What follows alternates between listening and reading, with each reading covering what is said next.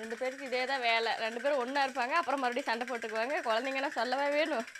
சேர்ந்துக்கிறதும் கூடிக்கிறதும் அடிச்சுக்கிறதும் எல்லாம் இவங்க கிட்ட தான். ஆப்பு. ஆப்பு. ஆப்பு. சாப்பிடுங்கப்பா.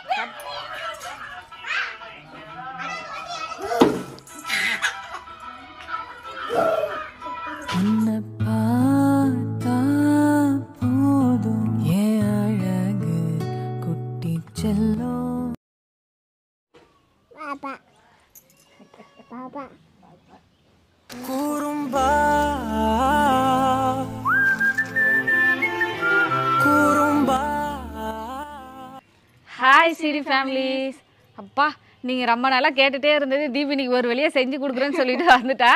இன்றைக்கி என்னென்னு பார்த்தீங்கன்னா ரெனிஸோட ஃபுட் ரொட்டீன் தான் இன்றைக்கி பார்க்க போகிறோங்க சரி காலையில் என்னடா கொடுக்குற? காலையில் வந்து சத்து மாவு கொடுப்பேன். சத்து மாவு கொடுப்பேன். அது அப்படி இல்லைன்னா டிஃபன் ஐட்டம் அந்த மாதிரியும் கொடுப்பேன்.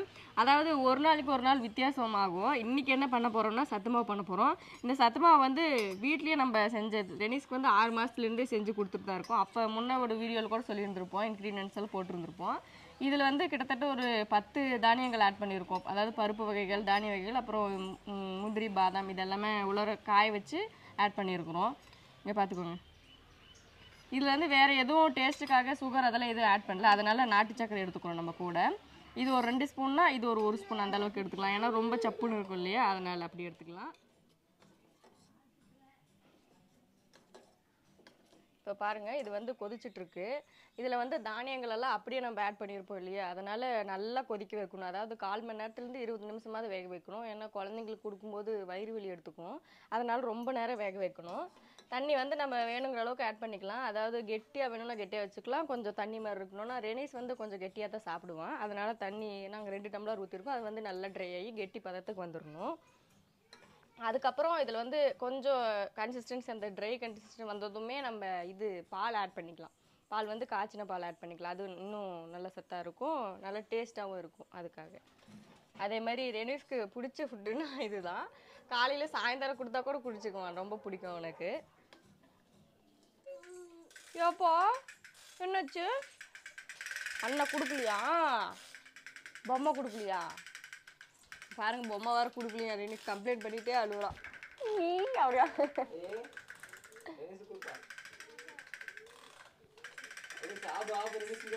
அப்போ?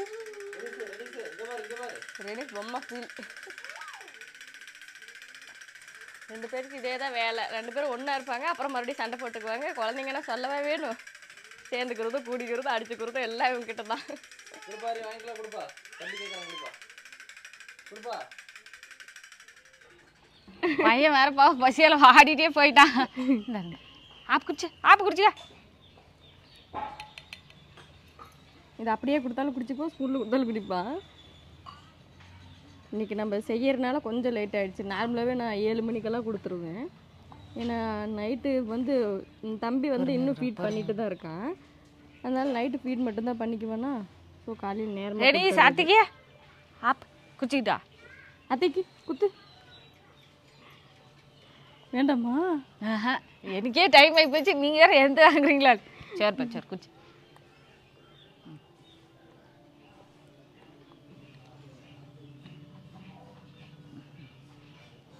கொஞ்சமா. பொறுமையாக பொறுமையாக குடிக்கணும். ம்?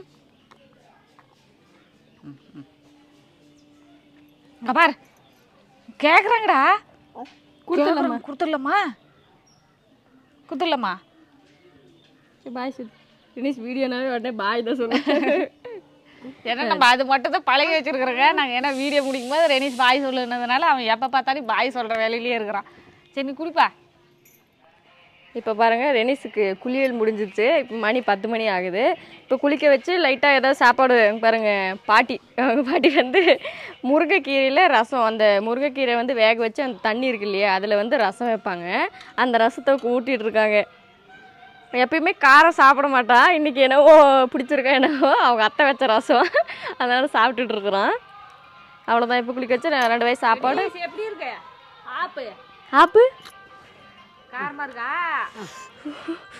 கார்லி பாய்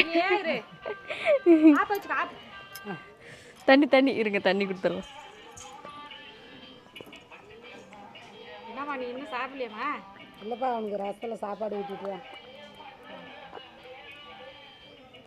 இப்போ அவளை தான் சாப்பாடு ஊட்டி அதுக்கப்புறம் அவன் வந்து பால் குடிப்பான். அதாவது ஃபீட் பண்ணுறது மட்டும்தான். மாட்டுப்பால் வந்து ரெனிஸ் எப்போவுமே குடிக்கிறது இல்லை இப்போ ஒன்றரை வயசு ஆக போது இன்னுமே மாட்டுப்பால் கிடையாது. அது அவனுக்கு பிடிக்கவே மாட்டேங்குது.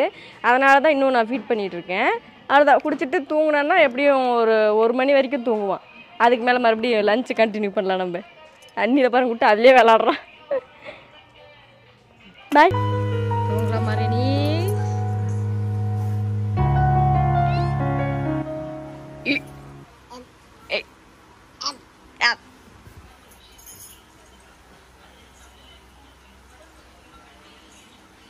இப்போ பாருங்க. சார் தூங்கி எந்திரிச்சிட்டாரு. மதியம் லஞ்சு லஞ்சுக்கு பாருங்க. பருப்பு சாதம் முட்டை. முட்டை வந்து இவன் வந்து ஒரு டைம் வந்து முட்டையாக சாப்பிட்றான். ஒரு டைம் வந்து ஆம்லேட்டாக சாப்பிட்றான். இப்போ வந்து ஆம்லேட்டோட டேஸ்ட் பிடிச்சிருச்சு. அதனால முட்டை அதிகமாக லைக் பண்ண மாட்டேங்கிறாரு. அதனால முட்டை அது சரி சாப்பாடு கொடுக்குறோங்கிறதுனால பாதி மட்டும் எடுத்துக்கலாம் அப்படிங்கிறதுக்காக. எப்படியோ ஒன்று அவங்க விரும்பி சாப்பிட்டாங்கன்னா சரி. பாட்டி என்ன அந்த பக்கம் சொல்லாம கொள்ளாம என்னம்மா சாப்பிட்டே இருக்கிற? பசி எடுத்துச்சு சாப்பிட்டுக்கிற பாட்டி அந்த தென்னங்கத்தெல்லாம் கிழிச்சு கிழிச்சு தொடப்பம் தனியாக த சீமலை தனியாக எல்லாம் எடுத்துட்டு இருந்தாங்க. பசி எடுத்ததும் ரெனிச்சோடய சேர்ந்து சாப்பிட ஆரம்பிச்சிட்டாங்க. அம்மா வந்து இன்னும் தட்டைப்பயிர் குழம்பு அது வந்து பாட்டி சாப்பிட்டுட்டு இருக்காங்க. மஞ்சள் கலர் பயிர் வச்சு என்னச்சு என்னது? துவர பருப்பு. அது வந்து ரெனிஸ்க்கு அம்மா வந்து சாப்பிட்டுட்டு வேலையை கண்டினியூ பண்ணிட்டு இருக்காங்க என்னம்மா தொடப்ப சேல்ஸுக்கு அனுப்புறதுக்கா இல்லை நமக்கா? சேல்ஸுக்கு அனுப்பலாம். இல்லை நம்ம வீட்டு யூஸ்க்காக தான் இது பண்ணிட்டு இருக்கிறது. ஆல்ரெடி ஒரு நாலு தொடப்பம் எல்லாம் ரெடி பண்ணி வச்சாச்சுங்க பாருங்க. அங்கே ஒன்று அங்கே ஒன்று எல்லாம் கிடக்குது. நம்ம பாட்டி அம்மா நம்மளே பண்ணிக்கிறது. வெளியில எல்லாம் நம்ம வாங்கிக்கிறதே நம்மளுது தென்னை மரம் மூணு தென்னை மரம் இருக்காது. அதனால நம்ம வீட்டுக்கு தேவையானது நம்ம மரத்துல இருந்தே எடுத்துக்கிறோம். தேங்காவும் மரத்துல இருந்து இந்த தொடப்பமும் தேங்காய் இளநீ. எல்லாமே நம்ம மரத்துல. பார்த்தீங்களா தென்னை மரம் இருக்கிறது எவ்வளோ யூஸ் ஆகுதுன்ட்டு நமக்கு. அப்படியே பாருங்க நம்ம வீட்டு ரோஸ் செடி பாருங்க எவ்வளவு அழகா பூத்துருக்குதுங்க. காலையில இன்னைக்கு பார்த்துருப்பீங்க வீடியோ ஸ்டார்டிங்லேருந்து அதில் தான் வந்திருக்கும். பாருங்க மூணு ரோஸ் அழகழகாக வந்துருச்சு பாருங்க அது கரெக்டாக மூணு. ஆளுக்கு ஒன்று எனக்கு ஒன்று ஜீவிக்கு ஒன்று அன்னைக்கு ஒன்று வரிசையாக மூணு. அப்படியே பாருங்க வெத்தலை செடி பாருங்க. இதுவும் வந்து அது கூட சேர்ந்து நம்ம வாங்கிட்டு வந்தது தான் எவ்வளோ அழகாக வந்திருக்கு பாருங்க. நம்ம வீட்டு கார்டனே தனியாகவே ஒரு நாளைக்கு காமிக்கலாம்டா திவ்யா. அன்னைக்கு garden பெருசா சொல்லிக்கிற அளவுக்கு இல்லையா நீ? அவ்வளோதான் இருக்கிறதே அப்படி காமிப்போம் நல்லா அழகா வந்திருக்கு பாருங்க. பார்த்தாவே போடணும் போல இருக்கு வெத்தலை நமக்கு. அப்படியே பக்கத்தில் கீழே பாருங்க மல்லி செடி. இது எத்தனை எடுக்குடா? இது ரெண்டு அடுக்கு நீ. ரெண்டு எடுக்கு. இது வந்து அம்மா வீட்ல இருந்து கொண்டு வந்தது. சீதனம். இங்கே பாருங்க கத்திரிக்காய் செடியே மரமாகி அதை இப்போ எல்லாம் பிடுங்கி எரிஞ்சிட்டு இப்போ மறுபடியும் ரிட்டர்ன் அடுத்தது வரப்போகுது. போன வீடியோல பார்த்துருப்பீங்களா? நீங்க அந்த கத்திரிக்காய் மரமா செடியா நிறைய பேர் கேட்டிருந்தீங்களா? அந்த செடி தான் நம்ம இப்போ வெட்டி விட்டாச்சு. அது இப்போ ஃபஸ்ட்டு நீங்கள் நாங்கள் வீடியோ போட்டது அது பிடுங்கி எரிஞ்சாச்சு. இப்போ வந்து மறுபடியும் அது வ- செடியா வருது. அடுத்து அது மரமாக வந்து காய் காய்ச்சி நம்ம எல்லாம் பிடுங்கி சாப்பிட்டு ரெனீஸ் அப்படியே சாப்பிட்றாரு. ரெனீஸ் ஆப்பு. ஆப்பு. ஆப்பு. ஆப்பு சாப்பிடுக்கப்பா சாப்பிடு. ஆப்பு சாப்பிட்டுக்கா அத்தை அத்தை குத்து. அத்தை அது அத்தைன்னு சொன்னதை உடனே காட்டுறா பாருங்க அப்படியே பின்னாடி பாருங்க இன்னும் அப்படியே மிளகாய் செடி ஒன்று இருக்குது. எங்கள் வீட்டில் பச்சை மிளகாய் செடி. இன்னொன்று பாருங்க எவ்வளோ பெருசா வருதுன்னு. காய் பாருங்க. பார்க்கறதுக்கு தான் இத்தினூண்டு இருக்குதுங்க ஃப்ரெண்ட்ஸ் ஆனால் வாயில் வச்சோம் செம்ம காரம் தான் சரியான ஜோலோ சிப்ஸை விட பயங்கர காரமாக இருக்கு. கண்கள்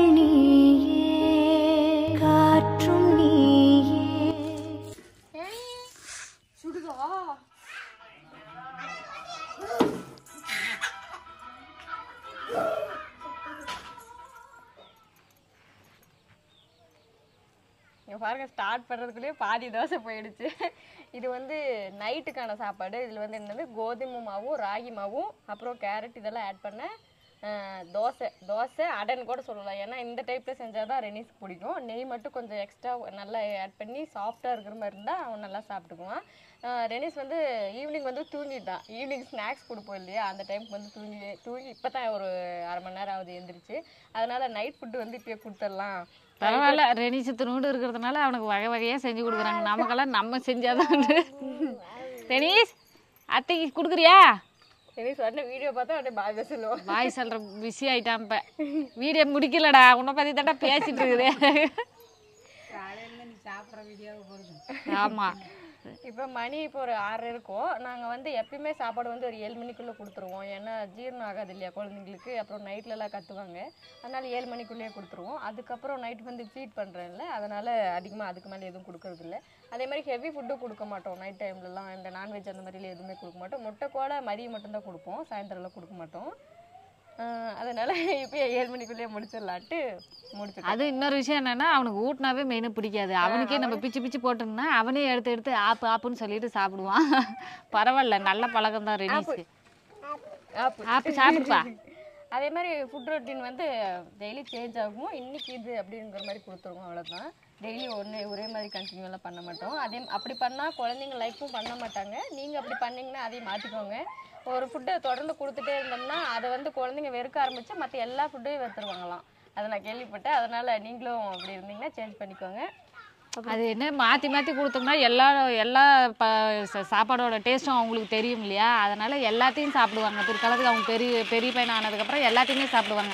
இப்போ நம்ம குறிப்பிட்ட பொருளை மட்டும் நம்ம சாப்பாடு கொடுத்தோம்னா அவங்களுக்கு வந்து அந்த டேஸ்ட்டு மட்டும்தான் பிடிக்கும். அதுக்கப்புறம் சிலதெல்லாம் நம்ம அப்புறம் பெரியவனானதுக்கப்புறம் சேர்த்தோம்னா அவங்களுக்கு அந்த டேஸ்ட்டு பிடிக்காது எனக்கு வேண்டாம்னு சொல்லுவாங்க. அதனால தான் இதுக்காக தான் நம்ம எல்லாத்தையுமே அவங்க குழந்தையா இருக்கும்போது எல்லாத்தையுமே கொடுக்கணும்.